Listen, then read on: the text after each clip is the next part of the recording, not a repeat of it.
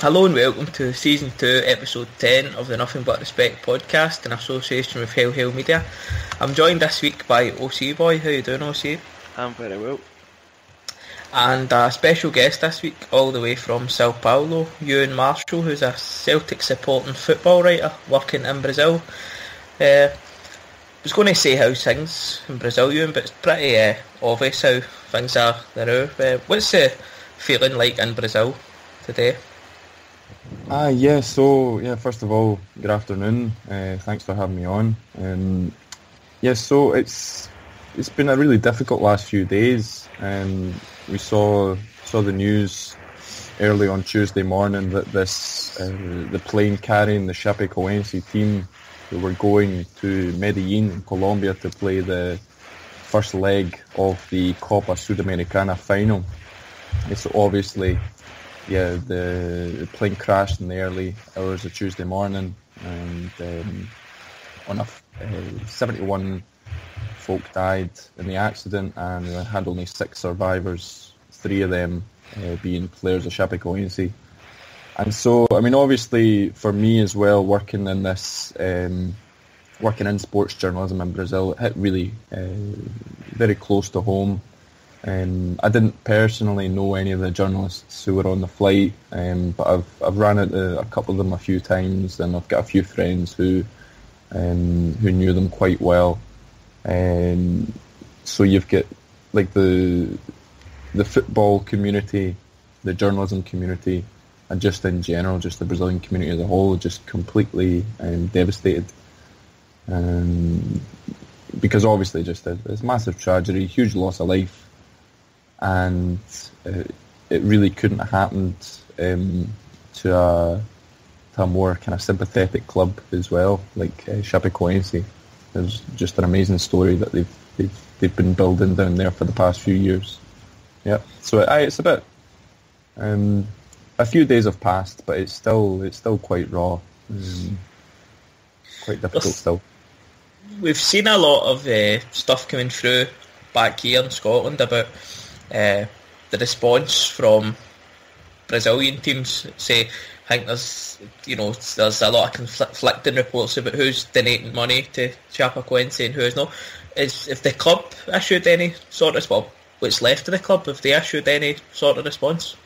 It's I, I it's a strange one because yeah, definitely we're seeing this not only from Brazilian clubs uh, but clubs all over the world. Um, talking about giving some sort of support to Chapecoense, but it's it's it's not really clear exactly what each club's going to do and and and when. Um, but the one thing that uh, does seem to be uh, putting in place at the moment is that uh, a number of Brazilian clubs are going to uh, they're going to sign a um, a resolution and hand over to the to the to the FA requesting that Chapecoense are going to be exempt from, from relegation for the next three seasons.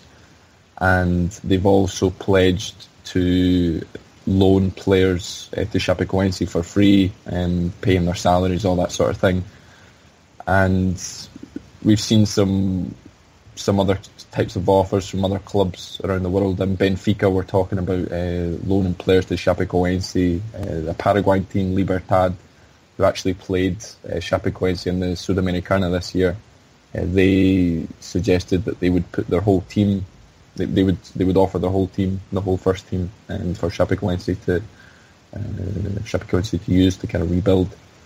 And yes, I mean it's, it's it's been really nice to see all these kind of offers of, of, of things that are going on. But I mean at the moment, the situation down in Chapecó is just it's it's an absolute madhouse at the moment. I've got a, a few colleagues are down there um, covering the situation for, for various kind of international news outlets, and um, it's the thing is, I mean, we forget that you had 19, 19 of their squad were killed, but at the same time, um, a large number of the coaching staff and a large number of the of the board and the administration um, were uh, also died in the crash. So I mean, you you hardly get anyone left.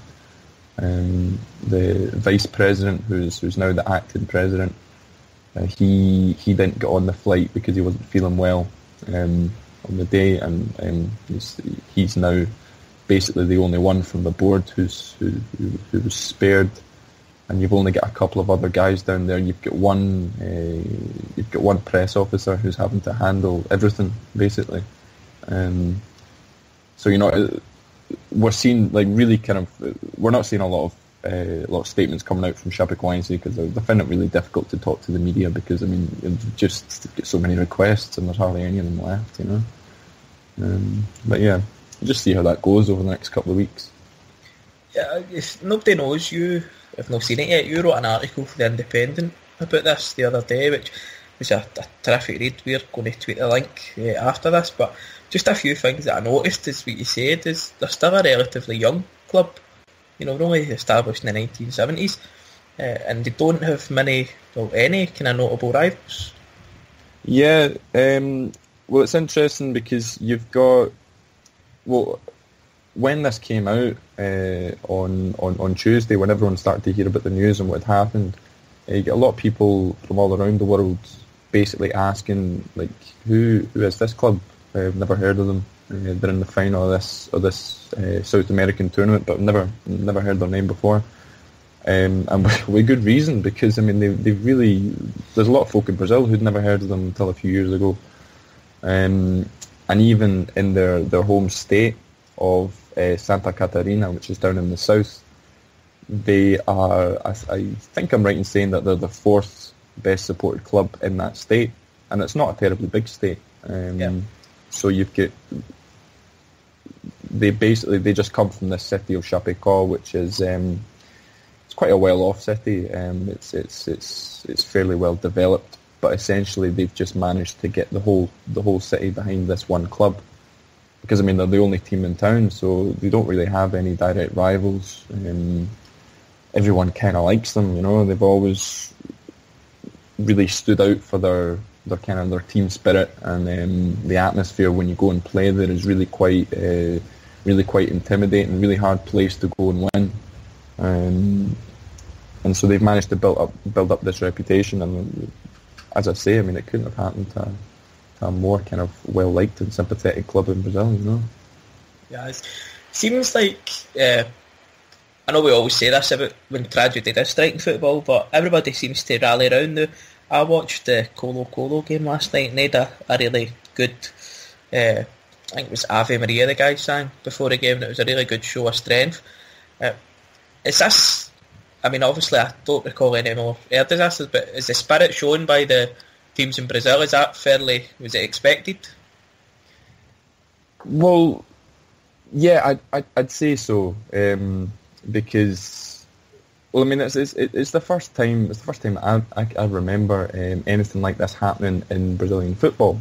Yeah. Um, but it certainly happened in, in Brazilian society quite a few times. I mean, last last year, uh, just a few a few weeks ago to the day, um, we had the the big dam disaster in uh, in Minas Gerais, where um, quite a few people lost their lives. This massive uh, environmental disaster, and then just a couple of years ago, um, I don't know if you guys saw this, but there was the the nightclub fire as well in the south of Brazil, which killed I think it was over 100, uh, over 100 uh, teenagers and, and, and 20-somethings. So I mean, the, these kind of tragedies have happened in Brazil, and it's the reaction is always kind of the same.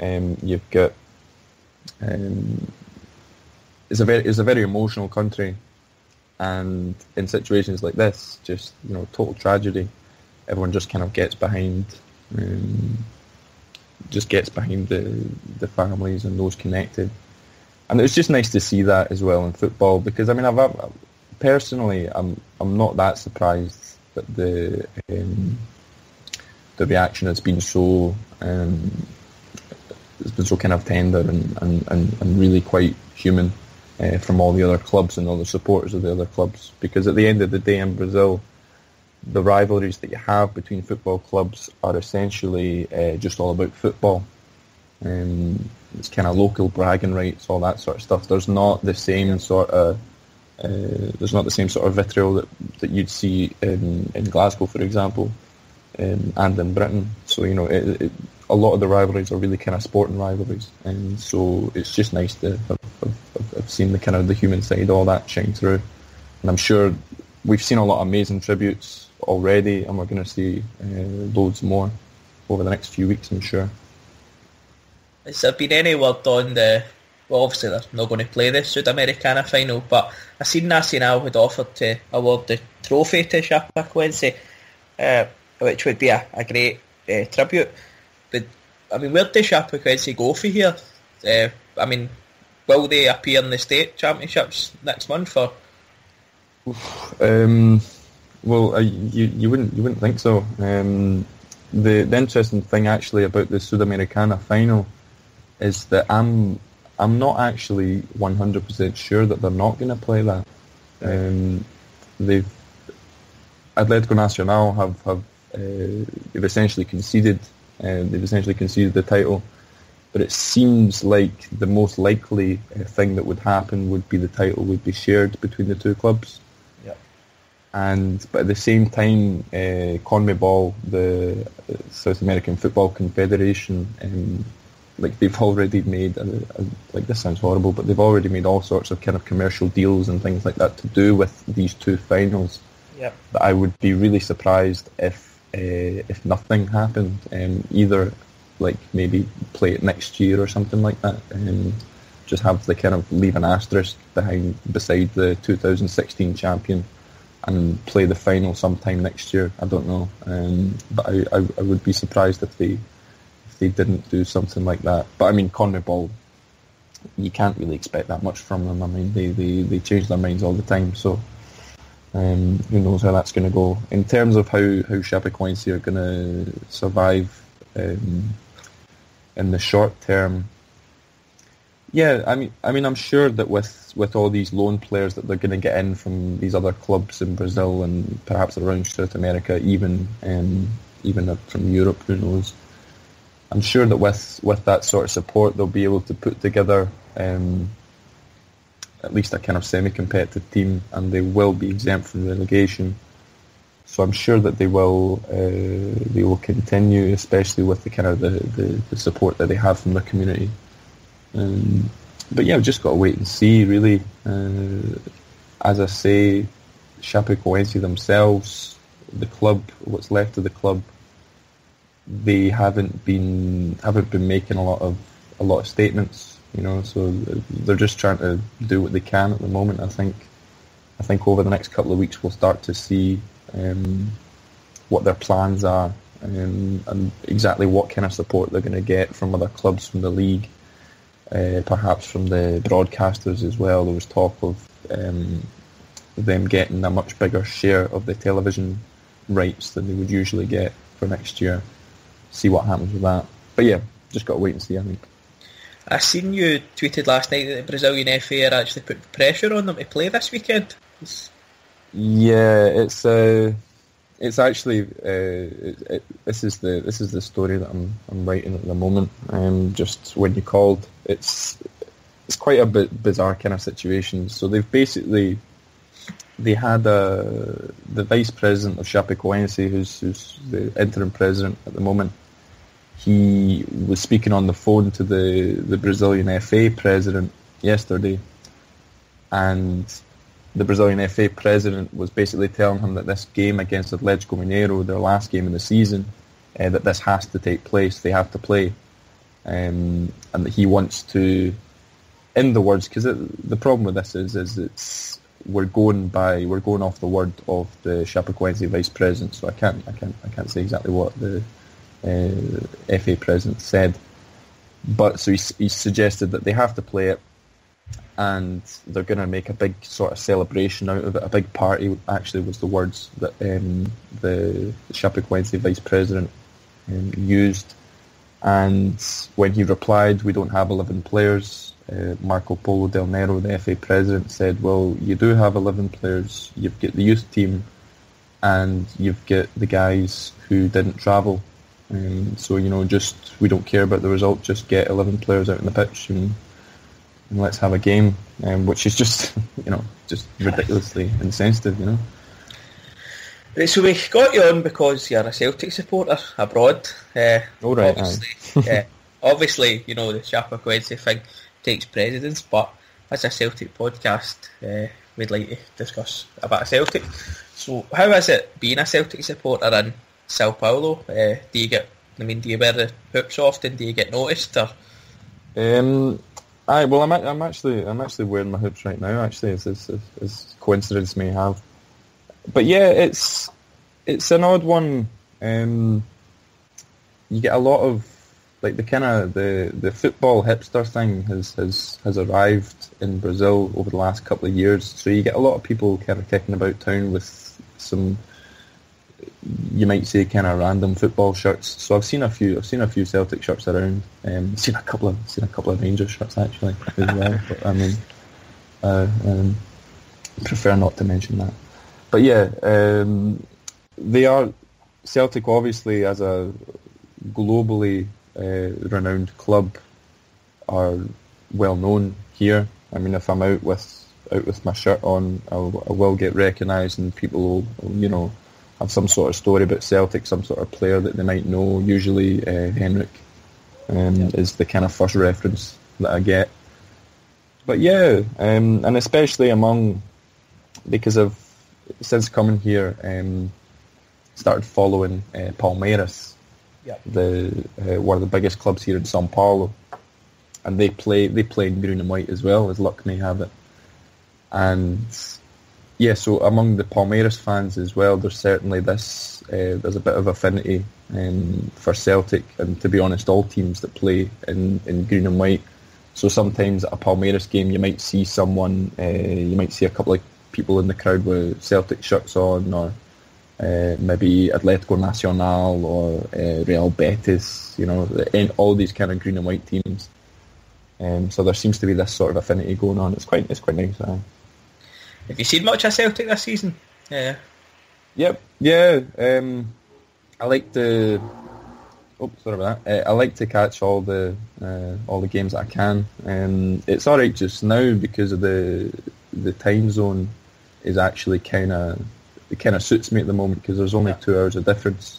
Um, but earlier, uh, when it's when it's winter here, when it's summer over there, uh, so at the start of the season, uh, the time difference is, is, is four hours. So that means me getting up to watch Celtic at eight in the morning, which is a bit of a bit of a nightmare. Um, especially like I don't know when you're playing Inverness Cali or St Johnstone or something like that. It's, it's, sometimes you don't feel like it's worth getting up for, but you know, I make the effort. And Sunday must have been a good day because Palmeiras won the league title and Celtic won the League Cup, so that must have been a good day for a Celtic fan living in. It was. Yeah, I, I, was actually I was mentioning this uh, to the guys because I, I, was at the game um, actually on Sunday, and uh, tragically enough, that was uh, that was also Chapecoense's yep. last game because um, yep. it was Palmeiras against Chapecoense. And I saw I was at the game on Sunday, and uh, beforehand, before we went into the stadium, just hanging out with a few friends uh, in the pub, and I mentioned um, that Celtic had, had, had won the League Cup that day, just like about an hour earlier, and uh, managed to get a bunch of Palmeiras fans to sing a wee round of Championes for uh, for Celtic, and plenty of free drinks going around, which was nice. But yeah, I mean, as I say, there, there is this sort of affinity between the between like for the Palmeiras fans, like oh well, you know, Celtic must be my Scottish team because they play in green and white. Yeah. So yeah, it was nice. Definitely two titles in one day. Very good. It's not often that that happens. No, it's not. And uh, just to finish off here with you, uh, is there any hidden gems Celtic should be looking at in Brazil, or is the work permit issues putting paid to that? Uh, yeah, the work, work permits are, an absolute nightmare. Um, we've got, like, the thing is, I think Celtic, uh, I've heard this discussed before by a few um, different uh, Celtic fans online, that perhaps Celtic should really start looking into the South American market because I mean it's it's it's not it's not one that we have really a lot of experience in. Um, like if you're talking about uh, Brazilian players that have, have, have, played at Celtic, I can only remember Juninho Paulista and obviously the man himself, you know, Rafael Scheidt. And it's it's it's I mean, I'm sure. I'm, I'm sure there's there's a lot of talent here, but the problem is is that Celtic just don't have. Um, they don't really have any representation here in terms of scouting, and you've got so many other major clubs in Europe who are already uh, just really have their claws sunk really deep into a lot of these clubs in terms of uh, scouting young talent. And so Celtic really need to get a move on if they want to. Um, don't have a chance of getting any of these young players. And I mean, obviously, the way that it goes these days is that it used to be you could recommend someone who's playing in the first division here, uh, like in the top division in Brazil. You could recommend him to some scouting for a European team, and maybe he wouldn't have heard him, and maybe there's a chance of signing him. But I mean, these days, the scouts they know everyone. You've you've got to go down to like your kind of under eighteen level um, to really get anyone to have any chance of, of you know, finding some sort of undiscovered star, you know. Um, but there's plenty of talent here. There's plenty of talent in South America, uh, especially around in Chile and in Argentina and Uruguay. And you know, if Celtic just kind of got their act together in terms of scouting in South America, uh, could could look to bring in a few really talented youngsters. Yeah, hopefully in the future we, we see a few more because as you say the current standard of Rafael and Juninho, uh, whenever hard to match that or exceed it. So I've, yeah, I mean, I've always wondered. I mean, I look, I look at, I look at like European leagues or just leagues around the world, and they've always got Brazilian players. You know, it's only Scotland that doesn't get Brazilian players. It's the only one. Anyway. So all it left to say is thanks for taking the time you to join us because I know it must be hectic uh, in Brazil at the minute. So nothing but yeah, not a bother. For uh, joining us and uh, stay safe uh, out there keep us up to date with anything that's happening. Uh, we'll put a link to your article on your Twitter uh, out. Oh, great, cheers. Happy for people just to follow you and ask questions. Yeah, excellent. Aye, so if you're if you are wanting to see um, or want to read anything um, that I put out, that's it. Just follow me on Twitter. I've got the uh, it's at Euan Marshall. Uh, Euan is E U A N. So anything I do, I'll just stick up on there. So aye, follow me there. Well, thanks very much for joining us. Not a not a problem. It was a pleasure.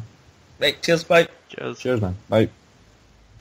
So back to Celtic matters. Yeah, we had a small business of winning the League Cup on Sunday. Dan, you were at Hampden. Uh, was it a, a? I don't think it was a normal bad day at Hampden, was it? Ah, well, well, as Brendan Rodgers says in his press conference before it, it wasn't his team, it wasn't him. So I think I'm quite happy to sort of forget some of the bad days we had at Hampden because the twice that Brendan Rodgers has went there, we've now went and absolutely dominated the opposition we've played. Aye, so the main team news before the game was Sinclair was missing, and I was actually gutted for the boy because he's been ever present, and uh, I know he took a bad injury against Barcelona, and we wish him all the best for the future. Uh, but we did get to see Robertson Forrest in the same team, and I was quite excited for that. Uh, Forrest did his best game in a long time, didn't he?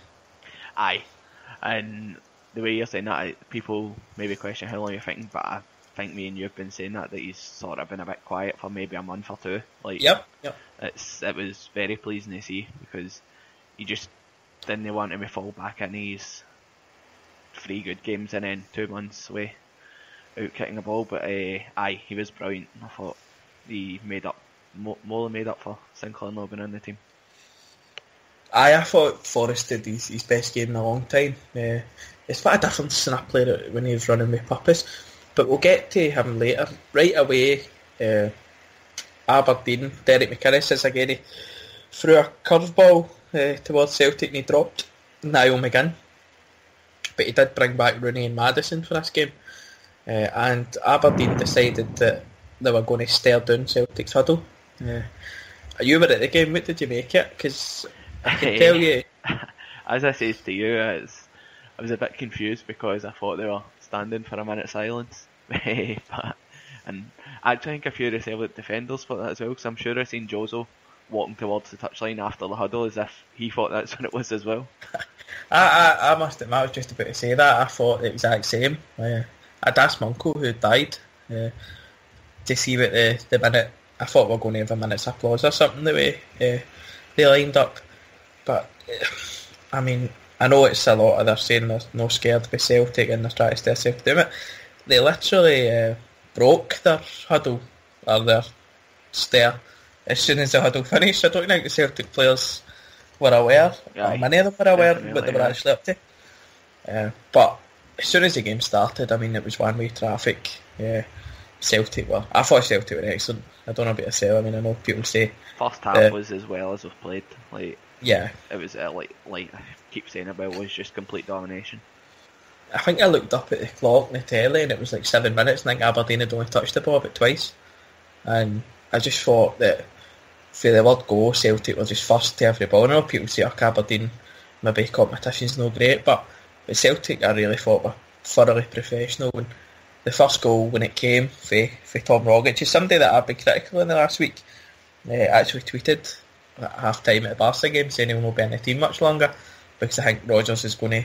You know, when we talk to Rodgers, you know, moving us into the next level, I think Rogic's position's one of those positions up for grabs. But uh, domestically, he continues to be one of our most important players, and turning up in a final like that. Uh, I mean, he has just become more important. But his goal was, I mean, it was a great goal. I don't know what kind of view you had for the goal for, for Hampden, but Aye, you could tell it was a great strike. Like I was uh, behind the opposite goal, but you could just tell. Uh, I thought Simunovic done brilliant for it as well. Because he'd sort of like, gave the ball away, but then just his drive to go and get it to Rogic, and obviously it's a fantastic finish. Yeah, I thought that was key with, with Jozo was he didn't just slide in, he, he slid in to win the ball, but he made sure if he did win it, it was going towards Rogic. I thought it was a great finish, and we didn't really take off after the gas for then. You know, I thought we, we kept it on. Aberdeen had a chance right, right away after the goal, but I thought uh, the second goal when it came was a great goal. Uh, good kind of break up the park. Forrest had a great run, uh, but I know I know I was screaming for him to pass it. What was your reaction when he was running through and goal? Eh, I don't know. I thought he had the right to go because it just sort of summed up how poor Aberdeen were. They let one of their most dangerous attacking players just run at them for about 10, 15 yards. They just backed off and backed off, and if they're going to do that, then that's that's the one thing that frustrates me with Forrest. That he doesn't do that enough and just runs at a man. Like, and obviously the finish was fantastic as well. I thought in many ways it was a similar game to the semi-final, and I thought that if we'd have scored early that day, the game would have went similarly. You know, I thought second goal before half time was huge. Uh, gave us a two 0 lead, and you know we don't look like conceding one goal, never mind three these days. So, I mean, the, the we had both odds in the cup really at half time. Uh, second half we came out it again. Aberdeen had enjoyed a wee bit of pressure at the start of the second half, to be fair, and, and we get a third goal at the right time. Uh, there was no denying it was a penalty, you know, and Forrest and, and Dembele took it. I know me and you were on Dembele to score more than two goals, so or more, two or more. Uh, good to see him come up and score. And I think with Dembele is I don't. I know he takes his penalties and he, I know he's only missed the one for us, but I think he just uh, picks a corner. I think he's going to keep going there until he misses and then go go back across the other way and, uh, until he misses that one. But uh, I thought Dembele was quite quiet on Sunday, to be fair. Aye, Uh, he was. eh? I thought he had. The keeper made a decent enough save at 0 0 from him, but Yeah. apart from that, eh, he was pretty quiet. But, like, if you can still get a goal in a cup final from your striker when he's particularly having a quiet day, that's all you can ask for, like, because his hold up play and that's brilliant as well now, so he's just, he is contributing to a lot more parts of the team, so it doesn't worry you as much. Uh, what did you make of the, the atmosphere at the cup final? Because before the game, I must admit, everybody was saying, "Oh, Aberdeen have won the pre-game battle," and that, you know, with the fans, and I thought it was only on the park. It was one-way traffic, and you know, off the park as well. I mean, you were obviously there, so you've got a better gauge than us. I don't think they won the pre-match battle. I think they just put their flags up about 15 minutes earlier. Like they Yeah, put their flags up at quarter to three, and what the Celtic display, which was fantastic again. I know Yeah. we've got a, a good wee pal close to it, but that the Green Brigade they just keep producing fantastic displays and aye, as as much as they have uh, Aberdeen fans can have all the flags they want, but like they moaned for a 50-50 split and there was still noticeable big empty areas, so I think they were just they were drowned out as well. Like Yeah. Now I know people often devalue the League Cup. You know, we've said before it, unless you win a treble, then it's not really something you look back on fondly. And but was that uh, maybe it's just because of the good feeling around the cup at the minute, or, or whatever. But I thought that was a genuinely well celebrated trophy. Oh, of course it was. Aye, it was. Although, like, only one new signing started, it is like a new team, so that's really their first trophy together with Brendan Rodgers. Like Brendan Rodgers' first trophy as Celtic manager. You've seen how much it meant to him. I think as well a lot was made of the restructure of the League Cup, but I think moving it in November actually almost makes it more important because it means you can get that bit of silverware on the board early, and now we don't need to worry about a semi-final in January and the final in March because now we can Yeah. put all our efforts to the league in the Scottish Cup.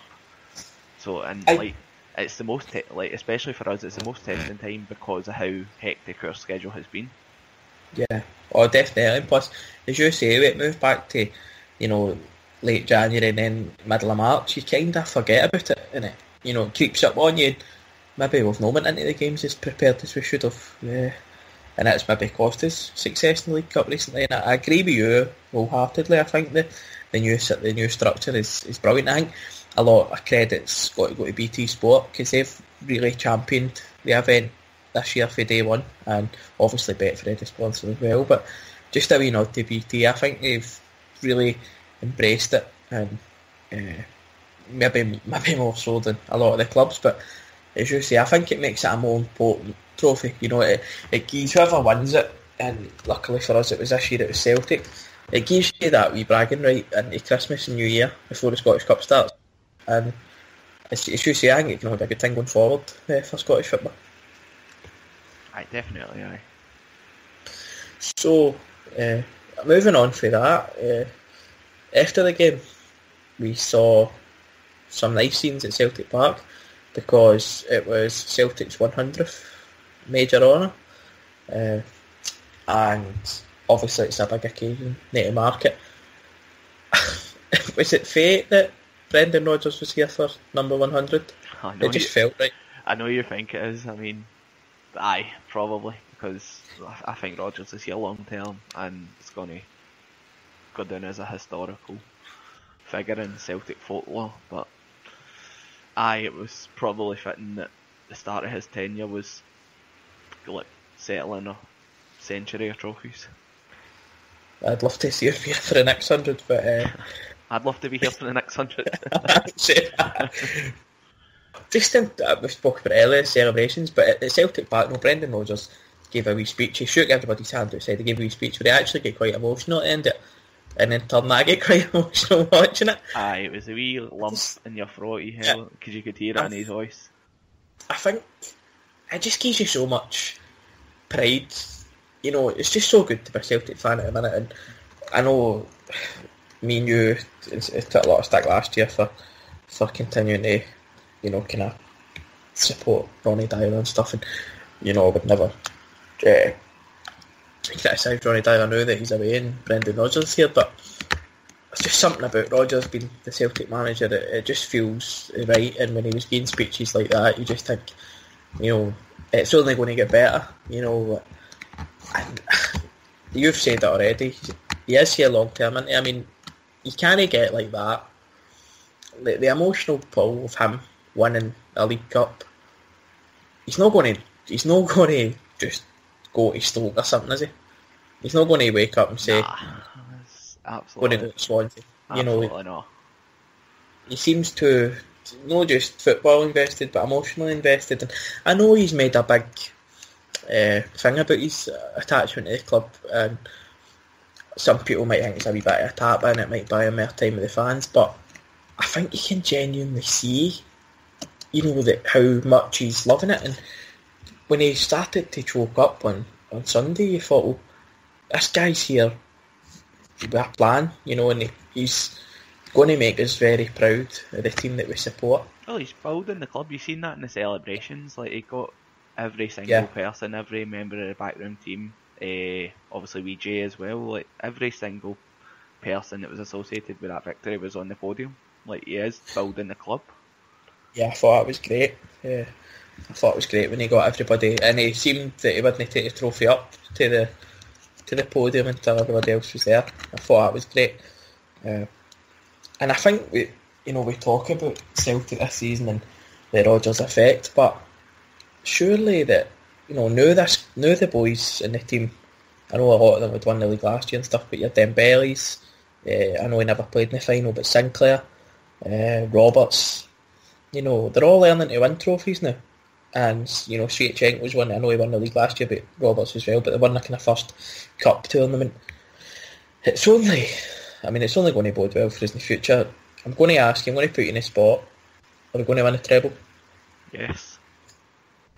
I says to you in July that if we win the League Cup, because it's early, I thought a lot of pressure would be on us with the Champions League and stuff, and I think the team have just been absolutely first class from the, and I know we're going to talk about the Champions League in a minute because the game last week, but uh, I- just want to take a chance to see how how absolutely chuffed he bits up with the team at the minute. Aye. And I think winning the League Cup is testament to not just Brendan Rodgers, but the rest of the team's commitment from uh, what happened at the end of last season to, you know, to get beat off Lincoln Red Imps. If you'd have said to us that night when we lost to Lincoln Red Imps 1-0, I we all thought we'd get through in the second leg, but if you'd have said to us, you'll be unbeaten domestically, you'll be in the mid- middle of a great, you know, goal, uh, you know, great defensive record, you'll not concede a goal in, you know, about 10 games, and you'll be top of the league, theoretically, 17 points clear your nearest rivals, uh, and you'd win the League Cup, and you know what, you'd get a decent, you know, I think they, they can be maybe slightly disappointed in the Champions League, but we've gave a decent showing of ourselves. When Lincoln Red Imps would beat us, I don't think anybody would have expected that. No, of course not. Uh, well, it was a part-time team, so it was. It was obviously some sort of. It almost felt like wake-up call, but then we hadn't really started yet, so you can you can sort of get a buy, and I was sort of convinced we were going to win a treble when that Scottish Cup draw was getting made because I was looking at it and I was thinking, there's absolutely nowhere you feel going. You could get like obviously Celtic traditionally getting away tie. I was like, it doesn't matter if it's away at Pittodrie, away at Tynecastle, away at Easter Road. We'll go there and win. That's like you would like oh, like you say we're we're Deila fans and we'll not apologise for it, but you would have worried if he'd have got a Tynecastle or a Pittodrie Yeah. like last season. But this you just think we're going to win every game, and like you say, we're eight points clear with three games in hand, the second place. Like we're in such a good place. Yeah, we, we can go we can go 11 points clear a second before Aberdeen, Rangers and Hearts kick a ball. And if Aberdeen beat Rangers, I think the worst will be is they don't. Would be- Aye, they'd be a point. they'd be a point better off, so I think they'd be like 10 points clear if Hearts don't win and Rangers don't win. Obviously Aberdeen beat Rangers. So I just, eh, like, as you say, in the Lincoln game, I was just going to bring it up as you say, give the team a buy for it. It's as if it never happened, because it has not held them back whatsoever. There's just been no... I I seen a pic. Oh, I posted a picture from it the other day to show how far we came. But even in that, you seen there's players that haven't really featured. So you've got like Ambrose, Chief J, Ryan Christie. Like, eh, there's quite a lot of players who I'm not going to say it's because obviously we lost as a team, but there's a lot of that team not really involved. Like, and Yeah, the few them- vital components. Aye, like you say. Well, s- well Dembele had just started, Sinclair wasn't there, Toure wasn't there, uh, Roberts didn't play. Roberts didn't play. Uh, so I mean, there's a, a few of the boys that obviously didn't feature, but it's as if it just didn't exist. I mean, I know a couple of Rangers fans were bringing it up, saying you know, ha ha, Lincoln and stuff, but I mean, we took six off them Aye. in two games. What does that say about them? You know, and it seems to be as if even fans of like other Scottish they don't want to bring it up anymore because it, it's completely been eradicated. It may as well have not happened because Celtic have just went from strength to strength to strength under Rodgers in such a short space of time. So, I mean, it was embarrassing when it happened, and we all thought, God, you know, this, we were all excited for Rodgers, and this has happened. It was like watching the team of the last three or four years. It's just, I mean, I just think it's incredible what's happened so far in only what, you know, six and a half months since he took the job, and long, long, long, long may it continue. Uh, because I think I missed the guy already and he's not even away yet. So, before Aberdeen, we played Barcelona in the Champions League, and unfortunately, we lost 2 0 and we're now, due to other results, we are out of Europe completely. Uh, but as I said earlier, I think, don't know if I speak for you, Dan, but uh, I think we've gave a right good account of ourselves in the Champions League. Aye, we. First and foremost, I know I sort of argued against it at the time, but the goal this season was to qualify for the Champions League. There wasn't any attachments to get third or that. And then we done that, and when you look at it, I don't want to make excuses for the team, but it was probably the toughest group we could have put in. Maybe Real Madrid's group with Dortmund was the only one comparable, but that was just such a tough group. And like you say, Barcelona game, the first game aside, we've not been embarrassed by any of the teams, and it's three top quality teams for top quality leagues. The, the Barca 7 0 game? That can happen to anybody, and unfortunately, it happened to us. And obviously, you don't want to just brush it off because 7 0 is a bit of a doing, and I think we have responded well for it. There's only one game, in my opinion, I think we've let ourselves down in, and it was a home game against Gladbach. I think the other four games, you know, there were even there were flashes in that Barca game, you know, and certainly in the first kind of half an hour, where uh, we gave a good account of ourselves, and then you know it all went to fuck when, when Barca started scoring that well. But it was just that 90 minutes against Gladbach. I think if you could give Rodgers the 90 minutes back, he would take that. And I agree with you, but at the same time, that was a, one of the best displays I've seen for an away team at Celtic Park. I know we went and got a Oh. point in Germany, but I thought they were really good as well. Like, although they were a bit patchy in the league, they, that was Yep. probably the best I've seen them. no, I agree. I thought they, they were good, and I thought that they, it was as good an away performance as you say, as we've seen it. I totally agree. It's just, I just, I, I came away from that night thinking we'd let ourselves down. I don't, I don't think. I think it was maybe just because I'd been carried away with how good we were against City, uh, where I thought that, do you know what, we might actually beat Gladbach because I mean, me and you had planned, we'd planned our route to the last sixteen uh, after the Man City game, so. Uh, maybe we just get a wee bit ahead of ourselves with Gladbach. But I think overall, I don't know if you agree. I think overall, it's been a obviously financially it's been great for us. But I think as a club, as a football team, it's been very worthwhile. Uh, and obviously we've still got the, the Man City game to come. But I think if you were to look back now, I don't think you would say, "Oh, we'd rather a run in the Europa League to say the Europa League last 16.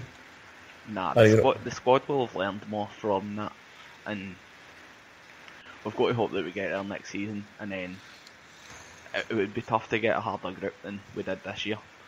And so Yeah. all we can do is just try and qualify again. Like you say, if we'd have, if Beersheva had got another goal and put us out, then yeah. I don't think we'd have learned too much about the team. But to come back from an opening day 7 0 defeat to that City performance, especially, uh, aye, the team's probably grown a lot, probably more than what Rodgers expected. So where do we go for here then, uh, in terms of next year? I mean, qualifying is qualifying this year. As you say, we, we said at the start, and we're not going to revise, revise history. We knew you said we don't want to just turn up and make up the numbers. And even though we've only got two points, I don't feel we've done that. I think we've competed very well. Uh, and I, I don't think we looked at a place last week against Barcelona. I, I thought No. they had one moment of absolute genius. Their goal was brilliant, the first goal. Second goal was a, a penalty, a debatable penalty, whatever.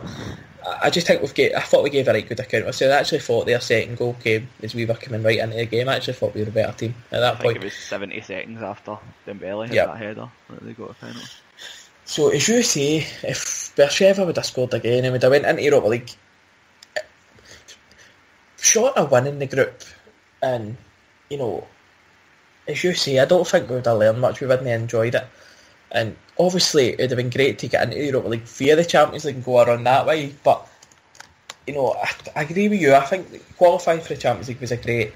As we said, we didn't want to just make out numbers and get humped, but I think we've shown a bit of maturity this year, and as next year. But I think next year the, the, the expectation is is qualify and don't finish fourth. And as you say, it will be quite hard for us to get a group as hard as that again. But no knowing Celtic, that's exactly what will probably happen. Well, Barcelona will be in it again, that's the problem. Aye, that's right. So Rodgers hinted towards, uh, he's hinted a few times towards the season about bringing players in. He certainly did at AGM about bringing players in the now, well, well, next month in January, to bed them in before the Champions League. Is he seen how important that is? Uh, so do, would you expect us to make a big signing in January? I would expect us to make signings. I don't know what would be classed as a big signing because I think every signing we have brought in has been a first team player. Yep. Uh, I think this time we probably will lose about six or seven. The, the players that haven't been playing, so like your Commons, J, Ambrose, etc. And I think we'll probably bring in about. I think we will bring in about three or four. I don't think we'll overdo it, but it'll be good. And I think it's important. Like I'd rather we done our summer spending in January, so that they've got three months to get in with the team, win the league, hopefully win the Scottish Cup, and then they're ready to go in July for these next qualifiers, and we won't get caught out on the first leg against a, a part-time team again. I think we've just got to start. Our season almost starts again in January to if we do bring new players in because July is so important for us as a club. Agree, and I think people got a wee bit let down this year because we beat Beersheva and never signed anybody. Uh, and people, I think we all agree that we needed another midfielder, and I think that's still the case. But my next point would be, see this whole theory that we need to qualify for the Champions League before making a big signing. I think that's out the window with Rodgers. I think Sinclair was a big signing. You know, Toure was a good signing. Uh, I think if Rodgers wants somebody, he'll get him in. Ah, well, I think Sinclair's the one that you should look at because that was done uh, before we qualified. But what was it? He was estimated was it between three and four million. Like, Yeah. we've not spent that in a few years. Uh, so I think that was possibly Lawwell and whoever's on the board saying, "I will give you this, and if it works, then." obviously Rodgers can be trusted with money, but it was almost. I hate to bring it back, but the winner gave Ronny Deila four million to sign a player. No, no, we are qualified to go. Especially uh, if they were to draw, you know, a team like Beersheva. Uh, but I think I think the point is is I think Rodgers can go and get whoever he wants in January. And there's a lot of talk about James McCarthy again. There's a lot of talk about Snodgrass. I think they're two players I'd like to see in, and as you say in January to bed them in. And I think Rodgers understands how important that is uh, for that to happen. And I just I just don't think we are bound anywhere by by qualifying for the Champions League. I think we're at a stage where either be two or three players, you know, who maybe no come until we're in the Champions League. But I think the basis of the team, you know, like your Sinclairs and your Toures and stuff, and players like, you know, because a lot of the spine of the team was there. You know, he didn't need to sign a lot, but it's the signings he did make were great. I think this whole qualifying for the Champions League, I think that's finished now. I think it's it's all about Rodgers. I think if he wants to get a player in, to, he'll get him. And I mean, do you think McCarthy will happen? It seems to be the new Robbie Keane rumour. as much as what you've just said, I think out of the two, Snodgrass is the more likely because he is out of contract at the end of the season. I think McCarthy would still command a bit of a fee, and again, out of the two of them, I think McCarthy would link more interest from Premiership clubs as well. So I think Snodgrass would be more likely, but I would take either or both. I, I, I think we'll get both actually. I, I'd be quite confident of getting both. Uh, es- especially Snodgrass. I think the thing with, with Snodgrass could be is uh, I think he's a great player, but he's out of contract, so we could sign him, and Hull are virtually relegated anyway. So we could offer them one or two million in January and say, well, you risk losing them for nothing in the summer, or we'll get them in now, and their season's finished really by the shouting. So oh, I don't want to be a bit sneaky with it, but you could just sign him on a pre-contract first and then do that, and then you've got. That's the- what I'm saying. Aye, That's what I'm aye, saying. aye. That's, you could already sign them up, and then you go to Hull and say, you know, do you risk losing them? For, you, you, you're going to lose them for nothing in June, July. you know, we'll give you two million and, and, and take him, or a million and take him. Mhm. Uh, I'd have no problem with that if it gets him in for, you know, the the Champions League Well, qualifiers. obviously, it was a different time, but we've done that before. We like, uh, well, tried to do it with. I'm sure we tried to do it with Kelvin Wilson and Adam Matthews. I'm sure we signed them on pre-contracts and tried to get them in, but aye, we probably would. It'd be off a gamble. Like, and if you do get them on a free, then it's sort of like a, almost like a Ledley situation where you don't need to worry about a fee, so you can probably splash a bit more on wages. Yeah, and I think as well, talking about, uh, just say we do it you know, it's nothing's concrete yet and it's all rumours, but even if we were to get Snodgrass on a free and then have to just say pay two million, I think that having him in, a player that has quality in the team before qualifiers start is worth spending two million that we don't necessarily need to because qualifying for the Champions League, you get your money back there. Oh, definitely, aye, it pays itself, aye. So apart from the midfield, because we, I think we are a quality midfielder short, uh, especially in Europe.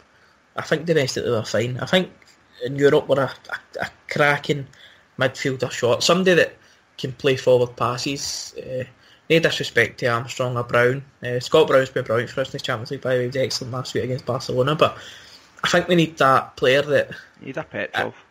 yeah, or, or or- or a player that can, you know, get the ball when we're kind under pressure and play a pass. And he's, you know, he's got players in the wing, Sinclair, Dembele going through and goal. I think we need a player that can turn the game in our favour. I think I think they're good on the break, but you see your goals in the break, like Man City, the Man City goals, like Tierney, Rogic, you know, they're all building up. I think rather than have a player that can play a 30, 40 yard pass that turns the game on its head for us. Uh, but do you think, apart from that, there's any need for another position to be filled? Eh, I know we only play with one up front, but I wouldn't actually mind having a decent striker in. Just to give competition to Dembele and Griffiths, and if we do need to shake it up in Europe and change our system, it'd be good to have. I don't know who I'd go for, but I would. I wouldn't mind having another striker because you're always one injury or suspension away from potential crisis. Aye, we said, was it last year, two years ago, Deila's first season, or he sec, or was it Lennon's last season, that all our strikers were virtually similar, Stokes and, and Griffiths and that. Mhm. And it sounds kind of cliched, but see, we- we've no needed to rely on it yet in the league because we've generally been in front of these games.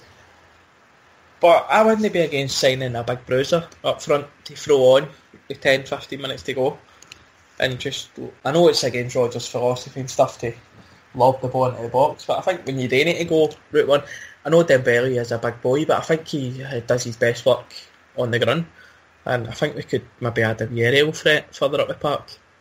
So what you're saying is games. you want Amido back? Eh, well, you see, there's always this face around Baldé back here, uh, in my opinion. Uh, but no, I was thinking more in terms of like, a kind of any good League player, you know, who is good in the air.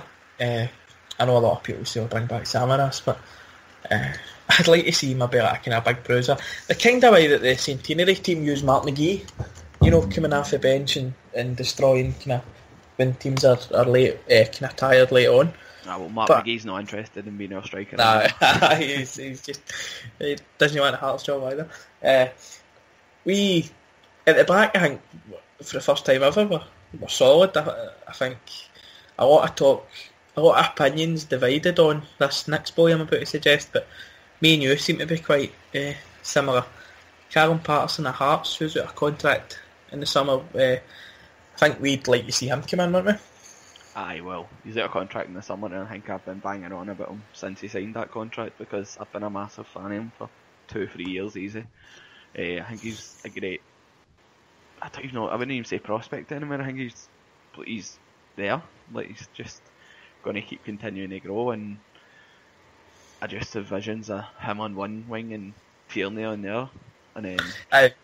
the only other, like we were talking about uh, a scenario last night as well is that does it replace Lustig or does Lustig just move into the centre? Who knows? Or if, if if he gets a new deal, that is. I think Lustig will get a new deal. I think he's well respected in the club. I think Rodgers recognises he's a big player. And just to touch on that point, me and you discussed it last night. I think Lustig could go to we could go to a three at the back with two wing backs. Uh, I know Rodgers has tried that a few times, uh, and I don't think he's got a balance right with kind of well, it was Roberts he was playing on the right hand side and KT on the left. I think if he'd have played like Paterson, who's naturally right sided, to go down the line. I mean, I think Paterson's a good player. I, I don't think he's a great player. I think I'd like I'd like to see Rodgers work on him. I think Rodgers could get a lot out of him, uh, like he seems to do with, with other boys. I think Rodgers could get an awful lot of him. Uh, I like him. I've liked him for a while, like yourself. Uh, I thought it was really good last night when Hearts beat Rangers. I thought he had a good game, and he's got a long throw, you know, that can cause trouble as well. He's got a few weapons up his sleeve, and I don't think he's too keen to stay at Hearts, judging by his post match and that post match interview last night. He, he didn't seem to brush off any speculation uh, about his future, but that's that would be one for our time. Some people are saying that with Rodgers Grim have moved away from signing SPL players, but I think young Scottish players are, would always be welcome. I I've good moved enough. away from it, I, I think we are just signing quality players, and that doesn't mean that you can't sign a player from the SPL. Like, it's- I don't think we'll ever be completely finished with signing players from other SPL teams. Aye, yes. I think that as well. I think if, if they're good enough, it doesn't matter where they are. And I think Rodgers could could do a lot of work with a player like Paterson. Uh, and I think he could complement the team team very well. Uh, so to move on for that, uh, as we mentioned before, we finished with a wee bit of fun. Sunday was Celtic's 100th trophy. Now, me and you are still quite young, so we've not seen all of them. Uh, but out of the ones you were alive for, Dan, what's been your favourite Celtic trophy? Ooh, tough one. Eh, the Wembley Cup. no. Ah, probably the 06-07 league title, just because of the circumstances with Tommy Burns. Obviously, it was it just seemed to mean a lot, and with it being a last day as well. Eh, That was two, 2008. oh, aye, sorry, I'm picking aye. Aye, that, aye, that, that, that, that was my one as well. Yeah. Just as you, as you say, it was the way the, the league was won, and uh, as you say, there was a lot of emotional attachment eh, towards it. Also, the Scottish Cup uh, in 2011, uh, because I thought Celtic had been really good that year, and with things that happened to Neil Lennon after part and stuff and losing the league prior, I, I thought Celtic really deserved a trophy that year, and Scottish Cup, I, I quite enjoyed that. Uh, obviously, league title '98, but I was only five then. I can't really. Uh, I remember some of it, but not really the significance of winning it until now. Um, but what- what's been your favourite cup win rather than league that you were here for? Ooh. League Cup we won against Rangers. What was it? Running about the same time. It was striking. It was one day and Yeah, yeah, they scored. That was my uh, first cup final. aye. I wasn't at that, but it was. I enjoyed that. Uh, Scottish Cups. I quite in a weird way. I sort of enjoyed the Scottish Cup final 2004. Was it when Doumbé scored, or was it slightly later? Doumbé would have been 2007, and it was one of the worst cup finals I've ever seen. I actually fell asleep and then woke up. But I just remember that being quite a good day. I Joe, Joe with a slide tackle. Uh. So a wee bit more thought needed. Apart from Lisbon, if there was one trophy that you weren't here for that you could have been, uh, what would that have been? I think it's got to be Love Street into 86. I see. I was I was thinking Love Street '86 or, or the centenary season or uh, the seven one game. hmm Uh, I think there's a few I'd love to. I think the I'd 86 would have just been so good with that happening. Yeah. And obviously with technology and know where it is today, it would have just Yeah. been so good with one guy with his radio. Aye, tell Hearing about about, that. 'cause Al- aye, hearing about Albert Kidd. there's a aye, there's a great fact in the video they gave me.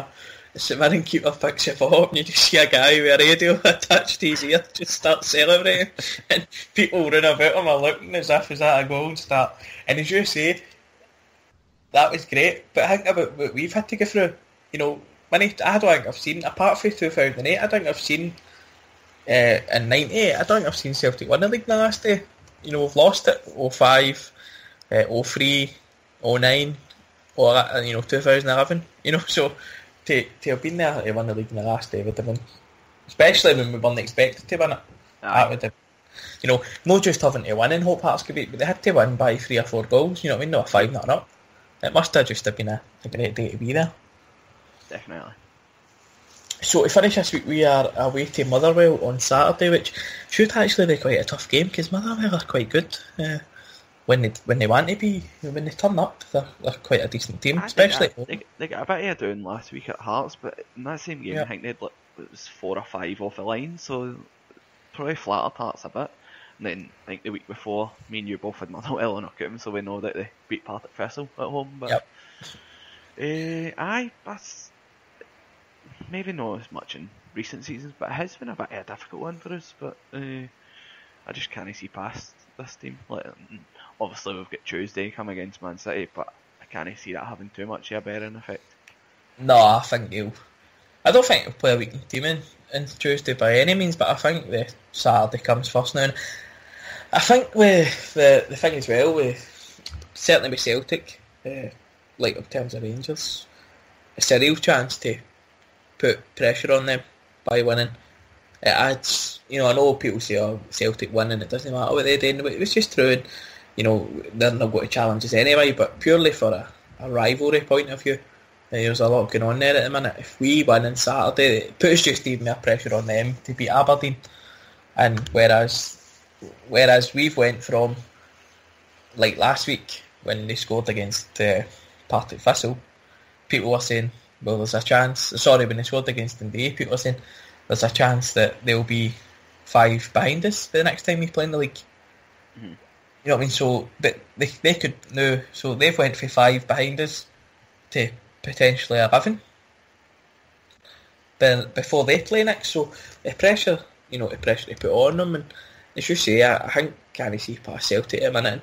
And it, I keep thinking, well, you know, it's got to come in in sometime, but you know, I'd be shocked if we lost a goal at the minute. You know, we're just so good. Uh, we're like a very good, well-oiled machine at the minute. Uh, which brings me to, I'm going to ask you for a prediction in a minute, but have you any other thoughts on the Motherwell game? Or? Yeah. No, I just wanted to know what you thought about Rodgers was at the day saying that he's looking forward to seeing Gary Mackay Steven eh, coming in. Do you think he could do a similar job to what he's done with Forrest and get the best out of him? You'd like to think so. I think Gary Mackay Stevens a wee bit unlucky that he's been out injured, uh, and he seems to have taken the flak for the semi-final uh, defeat last year to the Rangers. A lot of people seem to have threw him under the bus for it, where his, you know, cold light day. Everybody was absolutely discussing that day. Uh, he was very poor, by the way. Let's not get away from it, but I think he seems to have took a wee bit more stick than most. Uh, I'd like to see it. I mean, you never say never. Uh, I'd like to see him uh, Rodgers. It looks as if he's going to come on Sunday for a while. Uh, he seemed to be sent to train a few times, uh, and I think Rodgers. I- I've criticised Rodgers for this in the past that he's a wee bit egotistical, and I thought the signing of Balotelli kind of. I know he's come out and said that it wasn't really him that signed him, but I always thought with Rodgers, he likes to maybe blow his own trumpet a bit. So if he, but it's worked so far at Celtic, you know, with players like Forrest and and uh, certainly Armstrong has come come right on a game recently. So I think if Rodgers thinks he can get a tune out of Mackay Steven, then we just need to have a wee bit of uh, faith in him. Uh, I mean, I don't know what you feel about Mackay Steven, but I, no, I it's sort quite, of. I, I don't mind Gary Mackay Steven. I think he's a bit quiet in bigger games, but at the same time, domestically he's probably fine. Uh, it sort of caught me off guard when he was off the bench last week because I knew he was injured in pre-season, but I thought he was just completely out of favour. It wasn't until yeah, I seen Rodgers saying that that was him fit again and he was impressed with him that I thought, aye, maybe. Like, you wouldn't rule it out. Like, he's still relatively young in he's mid No, 20s and aye, why not? yeah. I think the resurgence of Forrest is giving everybody a wee bit of hope, and if I think Mackay Steven, I don't think that he's much worse than Forrest. So if he can get, uh, I mean, I, I quite like Mackay Steven an awful lot. I think if Rodgers believes he can get a tune out of him, then we just need to have a bit of patience. But I I think the Uh, thing as well that would be good if you could get uh, some form out of Mackay Steven is that obviously Paddy Roberts is away in a few months, so it would be good to have another wide option. That's what I was going to say. It's another. Uh, it's an, as you say, it's another option, and it's it seems to be that. I mean, we've seen it with Rogic. You know who I know Deila brought Rogic through, uh, but Lennon signed him, and Rogic was completely the picture. Now, now look at him, you know, so you would never rule um, like that out. But as you say, it's all about different options, and I still think I think they'll replace Roberts in the summer. I think uh, I don't think Roberts will stay. I think he's been at the team too long now. I think uh, he'll probably go back to City and then drift away on loan. He'll probably end up at a, you know a Stoke or maybe top end of Championship, Bonhoeffer Premiership. Uh, I know you're a big fan of Paddy Roberts like myself, but I don't know. I just can't see him staying. I don't think he'll stay either. And if I'm being brutally honest, I don't think he'll be missed. like, well, obviously be missed by the fans, but I, you'll, quality, you'll miss him. the quality of the team won't yeah. suffer. I don't think. Yeah, and I, th- I don't think that's a slight on, on Paddy Roberts. I think that's just how well the team have been playing, and I think I like Robert. I like him a lot. He's a great wee player. And I think there's, there's fewer better sights than when he's in full flow, and we've, we've not seen it as much this season, uh, which is a bit of a shame. But you know, God bless him. He, he's uh, you know he never shies away. Roberts. I think that's I think we've seen him come off the bench in European games, and he's added something. You know, a wee bit of flair.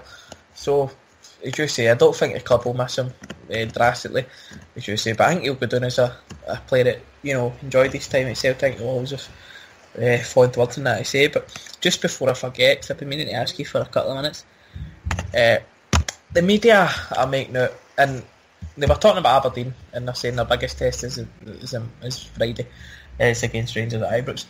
Some are suggesting that it's Celtic's biggest test. So, can I was going to say if we do this, can we do? But can Celtic go through the league season unbeaten? And or does it? Or do you want to wait to after Hogmanay? You think that? No, no. I, I think our toughest test came probably in the first day of the season. That's not to say we will go unbeaten. I think we definitely can, but it only takes one off day. And yeah, I mean, I, I agree with you. I think your toughest game of the season was the first day of the season, uh, and it's just that I think whether I mean I think Rangers are absolutely poor. I think we should be beating them comfortably at Ibrox. It's still going to be a big occasion for the players because only Scott Brown and Leigh Griffiths has Griffiths played there. I dare say he's played with Hibs. I don't think he has played there, Griffiths. Uh, I think only Scott Brown has played there. I can't remember Lustig. I don't think Lustig played there against them. No, Forrest so, maybe. Forrest as well. So Craig Gordon will have been there too, but I don't think there's many in that squad that have been there. So it'll be a big test for them. You know, it's an occasion. I, I think if they go through that, they can. I think they can go through the season unbeaten. I think, but as you say, it is that off day. Yeah, it's required. But it depends who the manager is at the time as well. Because I think that Wolves might do a magic disappearing act after Saturday, but we'll see. Yeah, well, if Derek McInnes is there, then we can definitely we'll be unbeaten at Ibrox for a for a long time. Uh, so just if will we still be unbeaten at half past two on Saturday? I hope so because I've still got a bet on it. So I certainly hope. You're, get, you're getting ninety one your money the now. Oh, I've really? seen that. Ah, you get 91 for Celtic to go season unbeaten. I seen it last I night. I think that's value in the Europe aye, because the full focus will be on I, domestic. Aye, I the only worry is that we win the league by 35 points and we play a youth team for after the split. Yeah, but if we win the league and we're still in the Scottish Cup, there's a chance of going through the entire domestic season unbeaten. Right.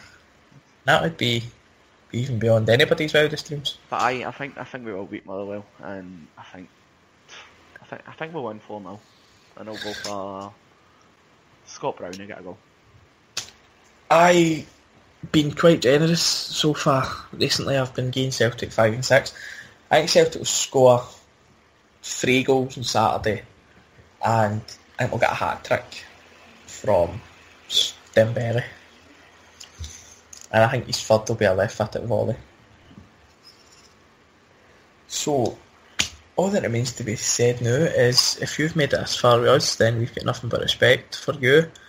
Uh, we will be back, uh, hopefully in the studio again next week.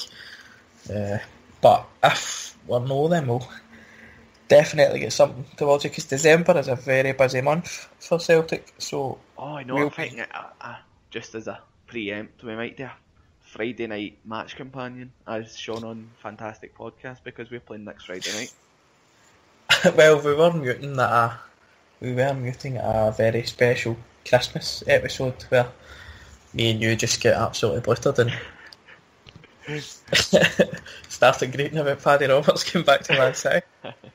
Still But- I think with December being such a busy month, there's definitely going to be stuff coming for us. So, uh, and a, a lot of thanks if you've made it this far, because I know there's a lot of non-Celtic chat uh, at the start of today's podcast, but we just felt with what's going on in the world, and you know you've got a, a Celtic fan working abroad who is clearly very learned, very intelligent, and got a lot of knowledge about the situation. I thought we thought it was quite right he could come on and, and discuss it uh, for people who maybe don't know so much. So I know there's a wee bit of time before the Celtic content kicked in this week, but we thank you for your your dedication to the show uh, because we are reaching.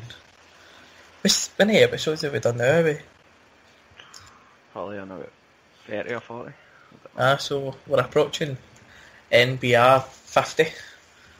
And then we can have a wee, which your favourite pod and which your favourite one you've missed and stuff. Eh, but as I say, aye, so keep it, keep your eye out for uh, up thick and fast because Celtic have the guts of 10 games in December. So we'll not cover every single one, but we're going to do our best because We'll try and And- we'll try and have some more special guests. I know there was a lot of good feedback for David last week, and yeah, I'm I'm I'm preempting it by saying that I think you'll enjoy the interview we done with Euan as well.